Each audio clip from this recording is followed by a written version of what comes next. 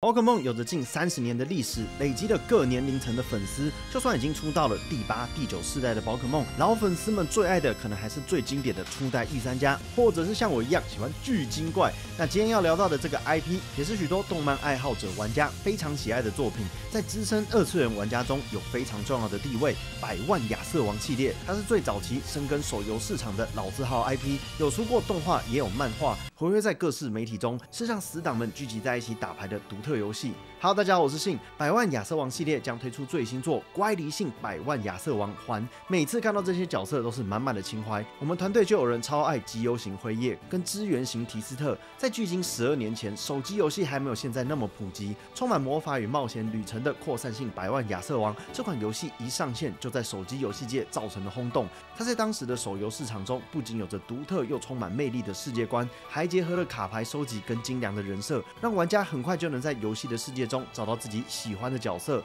探索这个充满魅力的故事。百万亚瑟王的世界是以亚瑟王传说作为范本改编，扩散性百万亚瑟王更是由魔法禁书目录的作者莲池河马担任编剧。但不同的是，这里的时钟剑并非只有一把，是有着整整的一百万把，对应这个世界里有整整一百万个亚瑟王。但其实，在系列多年下来的累积，玩家们早就突破百万，可能要改名成千万亚瑟王比较贴切。他们或许是佣兵，或许是盗贼，甚至有可能是富豪，但他们都有着相同的目标，就是要跟敌人战斗，守护自己的王国。玩家所收集的卡片，就是能与我们并肩作战的伙伴，非常王道的收集伙伴保护王国的内容。百万亚瑟王在推出就取得巨大的成功，这个 IP 并没有因此停滞，而是陆续推出续作跟旁支作品。例如在二零一四年推出的乖离性百万亚瑟王，就是继承了前作成功的元素，加以改良强化玩法。例如大家都超喜欢抽卡跟欣赏这些好看的卡面，那就干脆变成用卡牌战斗，有不同流派的亚瑟王不能一起战斗，很可惜吗？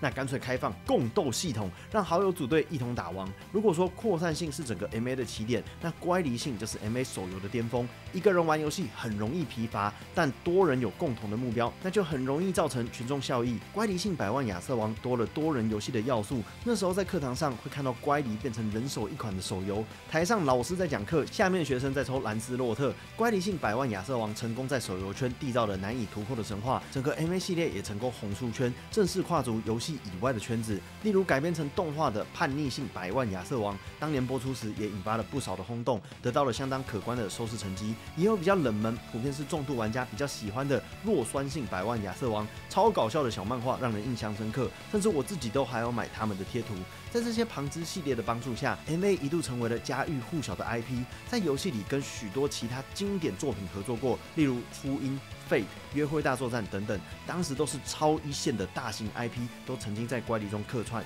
可以说，乖离性百万亚瑟王是手游界中的经典之一。可以连线的特性，也让玩家们在游戏中建立了深厚的友谊。玩家彼此间培养出了超强的社群力量，甚至后来推出的交响性百万亚瑟王，真的有了 3D 模组可以操控打怪，也是一代经典。然而比较可惜的是，乖离在营运了六年之久后，跟交响都在2020年时因为各种因素迎来了官服，让玩家们都超级不舍。毕竟里面除了满满的回忆以外，还有大家的老婆们。这个官服让大家都很担心，一代手游传奇 MA 系列会不会就此戛然而止？如果一个时代的辉煌就这样子陨落，真的超可惜。那 Square Enix 显然也是听到了大家的心声，在这个夏天，百万亚瑟王归来，乖离中的四位亚瑟王旅途还没有结束。MA 系列的全新作品《乖离性百万亚瑟王环》正式上线。本次的新作继承了乖离性的主线故事，让四位主角们进入了全新的地区，并邂逅了名为。奥丁的角色可以推测，这次的剧情即将进入北欧神话，让人很期待会有哪些神话相关的角色出场。像北欧神嘛，因为各种原因，最近又特别喜欢洛基，很想看乖离性百万亚瑟王环会怎么呈现这个邪神，也想看四位截然不同的亚瑟王们要怎么成就自己的称王之路。在玩法上呢，环也是保留了乖离的核心玩法，利用抽来的卡片进行战斗，最关键的共斗系统甚至有进行优化，让你跟你的好友们随时都能够一起同乐，成为亚瑟王。打倒眼前的强敌是一种另类的派对游戏。前面没有提到，但乖离的共斗系统真的很好玩。一个队伍里面四个玩家分别要担任不同的亚瑟王，不能够重复使用同个亚瑟，而每个亚瑟王又有不同的职位，有负责输出的、回血的，甚至是辅助的，并且使用的卡片也不是单纯追求稀有度，要妥善分配资源来组成卡组，不然稀有卡乱丢一通，反而容易让牌组卡死，直接变成卡手性百万亚瑟王。认识我的观众朋友都知道，我超喜欢这种组队打的感觉。每个人各司其职，大家都很重要。跟朋友一起打王的感觉超适合当做聚会主题。没体验过乖离的观众们，超级推荐，一定要来玩玩看，感受这款经典手游的进化。这次卡面的图示也有更进化的表现，变得更加精美超香。